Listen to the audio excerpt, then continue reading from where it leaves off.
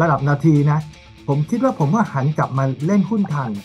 นะครับ เพราะนั้นผมไม่จำเป็นต้องหลีดนะครับ ดังนั้นภาวะชิงกระทำเนี่ยน่าจะอยู่ที่พันสามร้อยแปดสิบห้าบวกลบมากกว่าเซ็ตอินเด็กเนี่ยในภาพ30นาทีที่เห็นเนี่ยนะครับ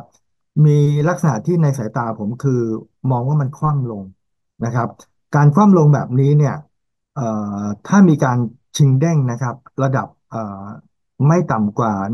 1,410 กว่า นะครับ เช่น 12 13 เนี่ย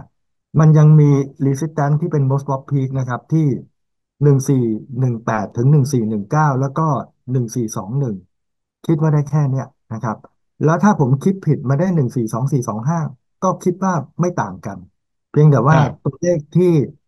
ที่น่าจะ max เนี่ย ยังเป็น 1421 มากกว่า 1425 นะครับนะฮะอืหรือมเผลอๆก็ 141718 เองนะครับนะที่เกิดวันนี้ได้วยซ้ำนะครับ แล้วก็ถ้าหากว่ามีการชิงถอยนะครับอันอันนั้นคือชิงเด้งนะ ชิงเด้งนะครับ คือหนึ่งสี่หนึ่งแปดหนึ่งสี่สองหนึ่งนะครับ แต่ถ้าชิงถอยเนี่ย ให้ระวังว่ามันอาจจะมีช่วงเด้งจากพันสี่ร้อยแปดนะฮะแต่เวลาช่วงเด้งจากพันสี่ร้อยแปดใจผมอะคิดว่าไอ้ตรงตรงพันสี่ร้อยแปดถึงพันสี่ร้อยหกเนี่ย มันเรียกว่าภาษาผมเรียกว่าเด้งกระจอกนะครับครับคือเด้งเด้งมาแค่หนึ่งสี่หนึ่งห้าเด้งน้อยอะเด้งน้อยใช่อืมใช่ครับ ก็ก็ยังเอาไว้เพนอยู่ดีนะครับเนี่ยในทางเซตนะ ถ้าคุณเอกพี่จำได้เนี่ย เมื่อเมื่อวานนี้ที่ยุ่งยุ่งกันนะฮะที่ผมยุ่งยุ่งอยู่นะผมไม่ได้หวีอะนะครับ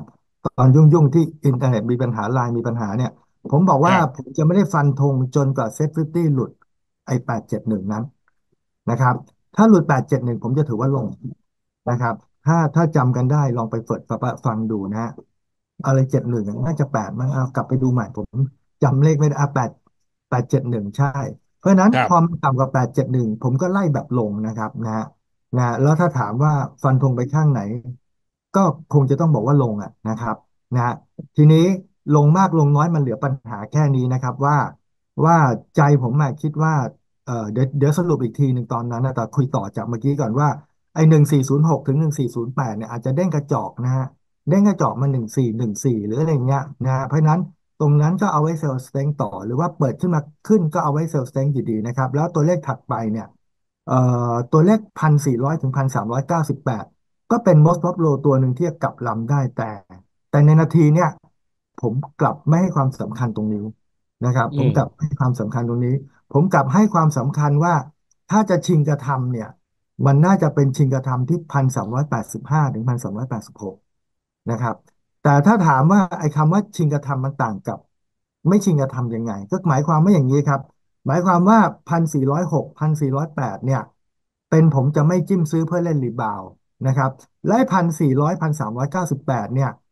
เอ่อคนที่ทำ volume เนี่ย อาจจะเสี่ยงนะ แต่เป็นผมถ้าเป็นนักลงทุนเนี่ย ผมไม่จิ้มซื้อเพื่อเล่น rebound เพราะอะไร เพราะว่ากลัวเล่นเด้งกระจอกอีกนะครับนะไม่ใช่ไม่เด้งอาจจะเด้งกระจอกอีกนะครับ ทีนี้ทีนี้ถ้ามันเด้งขึ้นไปเนี่ย แล้วมันเกิด ภาพ positive ทางคลื่นระดับนาที ระดับนาทีนะ ผมคิดว่าผมว่าหันกลับมาเล่นหุ้นทัน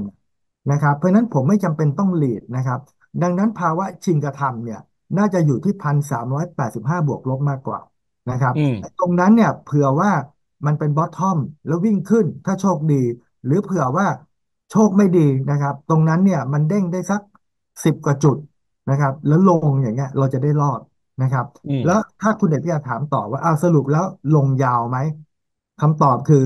ผมขอจะไปชี้อีกทีหนึ่งแถวนั้นไม่รู้ชี้ได้ไหมที่พันสามร้อยแปดสิบห้าถึงพันสามร้อยเก้าสิบห้า